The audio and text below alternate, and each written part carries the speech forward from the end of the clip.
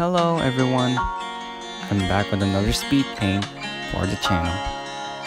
This character is but a simple fairy as she spreads around the plant inside her body in the most desolate areas where there is no vegetation at all. Hope you enjoyed the video. Leave your comments on what your thoughts are on her and what should I draw next. Also, she may answer some of your comments. Be safe, be cool, and keep it real.